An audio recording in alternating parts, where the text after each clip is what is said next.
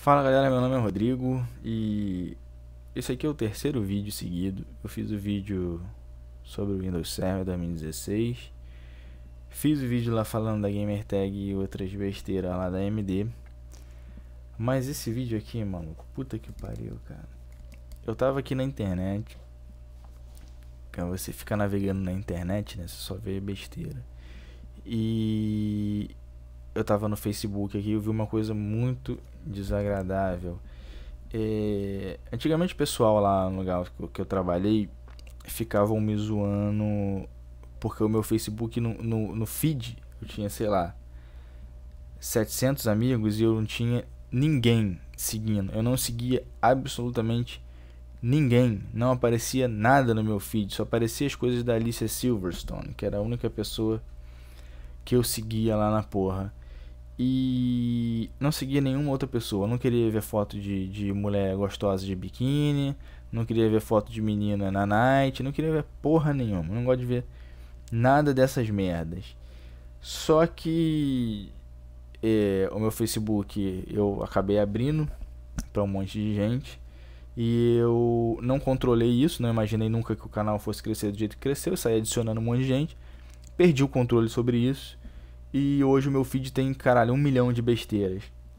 E de vez em quando eu, eu perco tempo ali é, vendo essas besteiras. E agora há pouco, eu tava, agora mesmo, eu tava assistindo, passando aqui, apareceu um, um vídeo tampado, né? E sem nenhuma legenda, eu cliquei no vídeo, tinha uma menina dentro, parecia estar dentro de uma cova. Eu pensei que fosse uma pegadinha, uma brincadeira. E alguém dá dois tiros na menina. E eu assisti essa merda. É, quando eu fui ler os comentários, ainda pior. Comentário de câncer com o nego que, que usa perfil falso.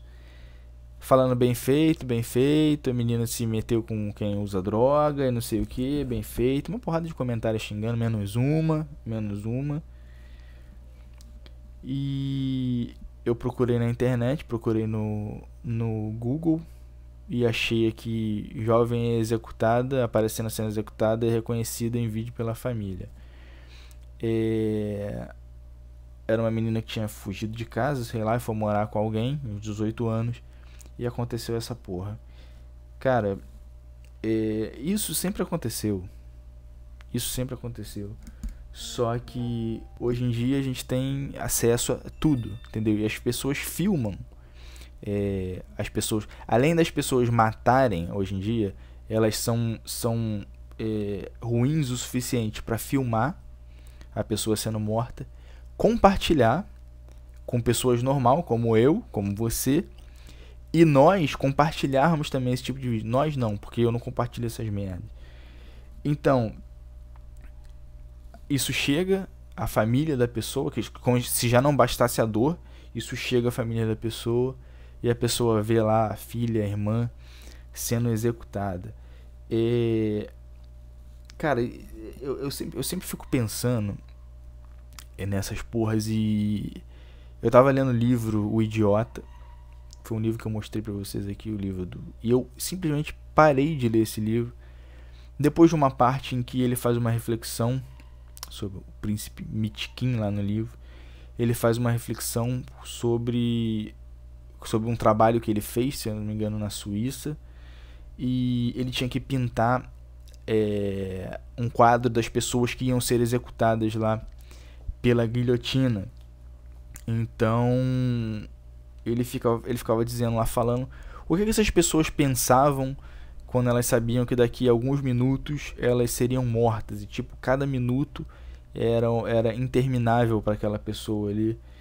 E uma vez eu assisti um vídeo também que me fez pensar muito nessa porra que eram três, três moleques dentro de um carro e um outro moleque e um dos moleques armado, né? E o cara falando, ai fulano, vamos te matar, agora você tá, tá fudido. É o moleque chorando, não, cara, que isso? E não, agora já era. E os três rindo, os três rindo, de repente os caras descem do carro no meio do, do, de uma estrada lá que não tinha nada. Aí rindo, eu falei assim, pô, isso é sacanagem, estão zoando o moleque, não é possível. E de repente eles simplesmente matam o moleque.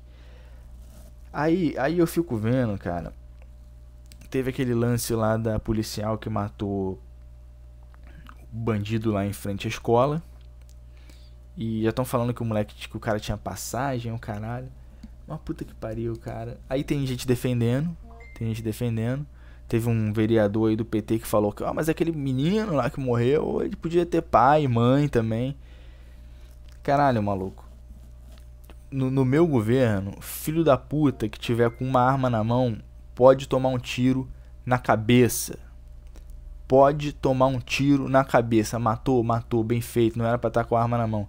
Tinha que ser assim, meu irmão. Tinha que ser assim. Tinha que entrar lá onde, tá, onde é o tráfico, todo mundo na favela matar todo mundo. Ah, aqueles malucos ali que são do movimento, mata todo mundo. Foda-se. Porque o cara tem que ter medo, meu irmão. Tem que saber o que, que vai acontecer com ele. Aquele filho da puta lá, se ele morre, se ele não morre, eu duvido que ele nem ia pensar de novo antes de botar uma arma na mão. Mas morreu bem feito. Menos um. Sei lá, maluco, caralho. Eu acho, o que eu acho ainda mais bizarro é nego compartilhando. Nego compartilha essa porra.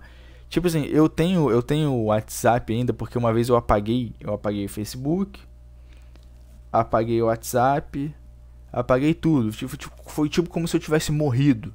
Nego não me chamava pro futebol, nego não me ligava. Tipo assim, eu simplesmente deixei de existir. Deixei de existir. É, hoje em dia, tudo por esses grupos aí só tem merda, só tem putaria. Eu queria entender o cara que perde tempo da vida dele pegando foto de mulher e fazendo montagem. Boa sexta, chegou a sexta. Eu queria entender o que, que passa na cabeça de um filho da puta desse. Só queria entender isso. Só queria entender isso. Como é que o cara perde tempo? Aí depois tu bota uma mulher lá e bota uma porra de um, de um, um cara pobre lá. Ei, fulano rindo. Ei, essa mulher não sei o que. Caralho, maluco. Ai, caralho, maluco. Caralho, é rede social, maluco. Caralho, é pior merda que a porra do ser humano inventou, maluco.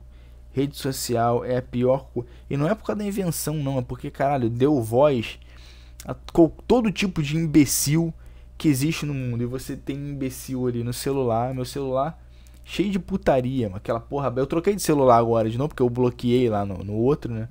Mas agora eu não troquei, eu esqueci de bloquear. Cheio de putaria na porra do celular. Cheio de putaria. Tem uma vez que o meu celular tava cheio de fotos da minha filhada, da filha da minha irmã. E também tava baixando sozinho, porque eu tinha formatado a porra do celular. Cara, eu fui apagar as putaria da porra do celular, apaguei as fotos da garota toda, fiquei puto pra caralho. Apaguei a porra sem querer, apaguei a porra toda.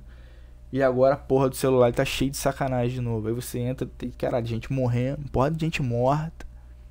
Uma porra de tu abre o celular pra ver as fotos, uma porra de gente morta no celular. Uma porrada de mulher pelada, escrito boa sexta. Aí você abre a porra do Facebook, tem a porra da menina tomando tiro e tem eu comentando dizendo que é bem feito. Caralho, maluco. Caralho, maluco.